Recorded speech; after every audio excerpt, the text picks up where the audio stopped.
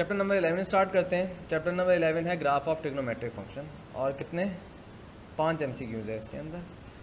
तो टिग्नोमेट्री का काफ़ी कम पोर्शन है यहाँ पे। वन में लिखा हुआ है the graph of function from minus pi to pi cut x axis at minus ninety degree plus ninety degree and y axis at plus one pretends to देखो, आम तौर पे जो एम में किसी ग्राफ के बारे में पूछते हैं ना तो वो ग्राफ या तो साइन का होता है या कॉस का होता है। आम तौर पे ऐसा हो रहा होता है। या हार्डली अगर पूछेंगे तो वो टेंजेंट होगा। तो इनके तीन के ग्राफ तो आपको रटे होने चाहिए। अब इसमें जो बता रहे हैं, ये बोल रहे हैं कि एक्स एक्सिस को कट कर रहा है माइनस नाइन्टी और पॉजिटिव नाइन्टी यहीं से आपको पता चल जाएगा नाइन्टी पे अगर एक्स एक्सिस को कट कर रहा है तो अगर कोई पॉइंट एक्स एक्सिस के ऊपर होगा तो वाई वैल्यू उसकी ज़ीरो होती है। तो ऐसा कौन सा फ़ंक्शन है जो 90 पे ज़ीरो हो रहा होता है? डेफिनेटली कॉस है। तो आप कॉस का ग्राफ याद कर लो। ऐड कर लो, ये है माइनस नाइन्टी ये है माइनस वन एटी या आप माइनस सॉरी, माइनस कह रहा हूँ, ये पॉजिटिव है भाई। नाइन्टी या पाई बाई टू आप लिख सकते हो इसको। अच्छा ये हो जाएगा पाए इसी तरह इसको लेट कर लो, माइनस नाइन्टी इसको लेट कर लो, माइनस पाए मैंने डिग्री रेडियन में मिक्स किया हुआ है, खैर समझाने के लिए बता रहा हूँ। तो ग्राफ अच्छा यहाँ पे वन वैल्यू होती थी। आपको पता है कॉस और साइन की मैक्सिमम वैल्यू वन और मिनिमम माइनस वन होती है। तो हमारा जो कॉस का ग्राफ था, वो इस तरह बनता था। ठीक है? इस तरह कुछ होता था। ये आपके पास to three pi by two होता था, ठीक है? इसी तरह इधर भी ऐसा हो जाएगा, ये हो जाएगा minus three pi by two ठीक है? इस तरह ग्राफ बनता था। तो अब देखो उसी के बारे में बोल रहे हैं। Graph of function from minus pi to pi minus pi to pi सिर्फ़ इतना कंसिडर करो आप, ठीक है? एक्स एक्सिस को कट कर रहा है 90 डिग्री और माइनस नाइन्टी डिग्री पे, सही है? वाई एक्सिस को कट कर रहा है वन पे ठीक है? तो ये किस ट्रिग्नोमेट्रिक फ़ंक्शन का ग्राफ है? ऑब्वियसली ये कॉस का ग्राफ है। तो ऑप्शन नंबर डी करेक्ट है। अच्छा जी, उसके बाद लिखा हुआ है range of three tangent three x देखो अच्छा ये बड़ा इंपॉर्टेंट चीज़ है। इधर तो एम सी नहीं लिखे हुए। अगर आप अपनी बुक देखो तो चैप्टर इलेवन में याद करने वाली जो चीज़ है, वो मैं आप लोगों को बता देता हूँ। वो आप लोगों ने लाजमी याद करनी है। क्योंकि चैप्टर इलेवन ग्राफ से रिलेटेड है स्टूडेंट समझते हैं, यार ग्राफ कौन सा आता है एम में। तो वो एक चीज़ बड़ी इंपॉर्टेंट भूल जाते हैं। ये चीज़, ये टेबल आपको रटा होना चाहिए। कि इन छः टिग्नोमेट्रिक फ़ंक्शन की क्या डोमेन है, क्या रेंज है, ठीक है? इसी तरह, दूसरा टॉपिक जो है इस एक्सरसाइज में, और ये दो ही टॉपिक है ज़्यादातर, कि पीरियड कैसे निकालते हो आप टिग्नोमेट्रिक फ़ंक्शन का, या एम्पलीट्यूड कैसे निकालते हो, ये सब चीज़ें मैंने बताई हुई हैं। पीरियड और एम्पलीट्यूड ये तो लाजमी निकालना आना चाहिए आपको, ठीक है? तो ये दो टाइप के सवाल होंगे, या तो रेंज और डोमेन के पूछेंगे, या पीरियड एम्पलीट्यूड इसका पूछ लेंगे, या फिर जनरल सवाल होंगे किसी ग्राफ के बारे में, जैसे कॉस के बारे में पूछा था उन्होंने, ऐसा सवाल आएँगे, ठीक है? तो याद रखना, ये जो रेंज का सवाल है, जितने भी टिक्नोमेट्रिक फ़ंक्शन है, अगर उनका पीरियड कुछ भी हो, जैसे इधर टेंजेंट का पीरियड क्या आ रहा है? पाई बाय थ्री आ रहा है तो टेंजेंट थ्री एक्स का। तो हम पीरियड पे मतलब पीरियड जो होता है, उससे टिक्नोमेट्रिक फ़ंक्शन की रेंज पे कोई असर नहीं पड़ता। रेंज या डोमेन पे कोई असर नहीं पड़ रहा होता। पीरियड का रेंज डोमेन पे कोई असर नहीं होता। ये जो भार होता है ना, जो मल्टीप्लाई हो रहा है इसको हम एम्पलीट्यूड बोलते हैं। इस एम्पलीट्यूड का बड़ा असर होता है, ठीक है? लेकिन टेंजेंट की केस में इस एम्पलीट्यूड का भी असर नहीं है। क्यों? देखो, आपने ये पढ़ा होगा टेंजेंट का ग्राफ अगर आप बनाओ तो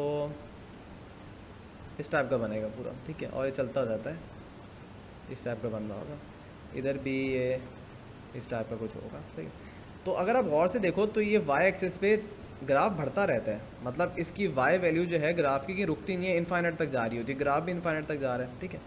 तो रेंज अगर आप बात करो रेंज का मतलब क्या होता है? ये वाई वैल्यूज़ ना, कि वाई एक्सिस पे ग्राफ आपका कहाँ तक जा रहा है। तो टेंजेंट ग्राफ चलता रहता है, ठीक है? तो इसकी सब रियल नंबर रेंज होती है टेंजेंट की, ठीक है? अब सब रियल नंबर मैंने बोला रेंज होती है। अगर आप उन सब रियल नंबर को थ्री से मल्टीप्लाई करोगे तो तब भी आपके पास रियल नंबर ही आ रहा होगा। अगर रेंज टेंजेंट फ़ंक्शन की रियल नंबर होती है तो अगर आप उसको थ्री से मल्टीप्लाई करोगे, तब भी सारे रियल नंबर उसके अंदर आ रहे होंगे। तो टेंजेंट की एम्पलीट्यूड कुछ भी हो रेंज पे कोई असर नहीं पड़ता रेंज इसकी रियल नंबर ही रहती है। देखो, जब किसी की रेंज रियल नंबर हो ना, उस पर आप कुछ भी कर दो रेंज रियल नंबर ही रह रही होती है। चाहे उसका पीरियड चेंज कर दो, चाहे उसका एम्पलीट्यूड चेंज कर दो रेंज उसके रियल नंबर रहेगी। तो ऑप्शन नंबर सी जो है सेट ऑफ़ रियल नंबर वो ठीक होगा। लेकिन साइन और कॉस के चेंज में चेंज हो जाएगा, अगर आप एम्पलीट्यूड से मल्टीप्लाई करोगे। बहरहाल थ्री में लिखा है what is the domain of sine if it's range is R देखो, ये एम सी क्यूज़ की वर्डिंग थोड़ी सी अजीब सी लिखी हुई है। या तो इसमें मिस्टेक है, या मैं सही तरह समझ नहीं पाया। इसमें दो चीज़ें मैं बता दूँ। साइन की बात की जा रही है डोमेन रेंज की तो दो चीज़ें आप याद कर लो कि साइन की डोमेन क्या होती है, सब रियल नंबर होते हैं। और इसी तरह साइन की रेंज क्या होती है माइनस वन से लेके वन होती है। इंटरवल नोटेशन में लिखा वैसे अगर आप लिखो तो इस तरह लिख सकते हो कि रेंज ऑफ़ साइन बराबर होती है वन और वन से कम कम, इसी तरह माइनस वन और माइनस वन से ज़्यादा ज़्यादा। ये बुक में भी लिखा हुआ है जो मैंने टेबल आप लोगों को बताया था। कि साइन एक्स की डोमेन है सब रियल नंबर और रेंज क्या है? माइनस वन के बराबर हो सकती है और माइनस वन से बड़ी, इसी तरह वन से छोटी और वन के बराबर। तो दो चीज़ें मैंने बता दी इस एम सी की मुझे वर्डिंग और ऑप्शन कुछ हज़म नहीं हो रहे थे, अजीब से लिखे हुए थे। इसलिए इसको आप लोग ही देख लेना। फोर पे लिखा हुआ है पीरियड अच्छा ऑफ़ मिस कर दिए। Period of cos six x cos six x का पीरियड क्या होता है? अच्छा पीरियड निकालने का बड़ा आसान तरीका होता है। अच्छा नॉर्मल जो फ़ंक्शन है सिंपल टिग्नोमेट्रिक फ़ंक्शन उनके याद होने चाहिए आपको कि जैसे मैं डिस्कस कर लेता हूँ। जो आपके पास साइन कॉस सेक कोसेक इनके पीरियड होते हैं टू पाए इसी तरह टेंजेंट और कॉट इनके पीरियड होते हैं पाए ये सिंपल टिग्नोमेट्रिक फ़ंक्शन है। इसमें एंगल से कुछ मल्टीप्लाई नहीं हो रहा। तो इनके तो पीरियड आपको सबसे पहले याद होने चाहिए। अब जब एंगल से कुछ मल्टीप्लाई हो रहा है, तब पीरियड निकालने का फॉर्मूला क्या होगा? देखो कॉस सिक्स एक्स हो, या साइन सिक्स एक्स हो, या टेंजेंट सिक्स एक्स हो। इन दो का निकालने का सेम तरीका है। क्या आप करोगे?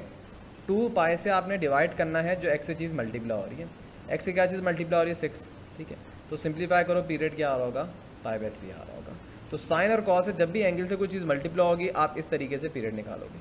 और टेंजेंट में क्या करोगे? टेंजेंट में आप पाए, ऊपर लिखोगे और फिर जो एक्स चीज़ मल्टीप्लाई हो रही है, उससे आप डिवाइड कर दोगे, ठीक है? तो साइन कॉस में ऊपर टू पाई आएगा टेंजेंट में ऊपर पाई आएगा पर इस सवाल में कॉस सिक्स एक्स की डोमेन पूछी थी, वो किसके बराबर आ रही है? पाई बाय थ्री तो ऑप्शन नंबर बी करेक्ट है। फिर लिखा हुआ the value from minus pi by four to three pi by four for cos x अच्छा माइनस पाई बाई फोर क्या होगा? माइनस फोर्टी फाइव डिग्री मैंने ग्राफ बनाया था ना, यहाँ पे उसे डिस्कस कर लेते हैं हम।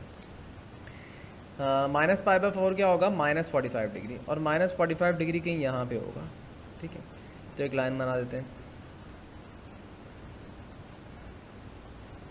To, three pi by four. Pi by four होते हैं forty five degree. Forty five degree को आप थ्री से मल्टीप्लाई करो तो one thirty five degree. One thirty five degree की यहाँ पे होगा। ठीक है? यहाँ पे आप एक लकीर बना दो। ठीक है? पूछा हुआ है, द वैल्यू, इसके दरमियान कॉस एक्स की वैल्यू इंक्रीज़ हो रही है डिक्रीज़ हो रही है, क्या हो रही है? ठीक है? देखो, अगर आप माइनस फोर्टी फाइव से देखो मतलब इस पॉइंट से देखो तो इस पॉइंट पर अगर आप देखो तो कॉस एक्स जो है उसकी वैल्यू इंक्रीज़ हो रही है। इंक्रीज़ होते होते यहाँ पे वन हो गई है ठीक है? उसके बाद अगर आप देखो तो कॉस की वैल्यू डिक्रीज़ होती जा रही है, होती जा रही है, होती जा रही है, ठीक है? तो पहले इंक्रीज़ हुई है, फिर आपकी डिक्रीज़ हो रही है। तो ऑप्शन में लिखा हुआ है ऑलवेज डिक्रीज़ पॉसिबल नहीं है, क्योंकि शुरू में इंक्रीज़ हुई थी। फिर ऑलवेज इंक्रीज ये भी पॉसिबल नहीं है, क्योंकि आपकी डिक्रीज़ हो रही है यहाँ पे। फिर क्या है? डिक्रीज़ एंड देन इंक्रीज़ नहीं। इंक्रीज़ एंड देन डिक्रीज़ शुरू में देखो इंक्रीज़ हुई थी, उसके बाद डिक्रीज़ हो रही है यहाँ तक। तो ऑप्शन नंबर डी जो है अच्छा ये आपको नज़र नहीं आ रहा होगा। ऑप्शन नंबर डी करेक्ट होगा इंक्रीज़ एंड देन डिक्रीज़ शुरू में इंक्रीज़ हो रही थी, उसके बाद फिर डिक्रीज़ हो रही थी। माइनस फाइव बाई फोर से लेके थ्री पाई बाई फोर। ये पॉइंट क्या है? थ्री पाई बाई फोर, ठीक है? तो इसके दरमियान अगर आप बात करो तो पहले इंक्रीज़ हुआ, उसके बाद डिक्रीज़ हो रही थी। तो यहाँ पे आपका चैप्टर नंबर इलेवन जो है, ये भी कंप्लीट हो गया।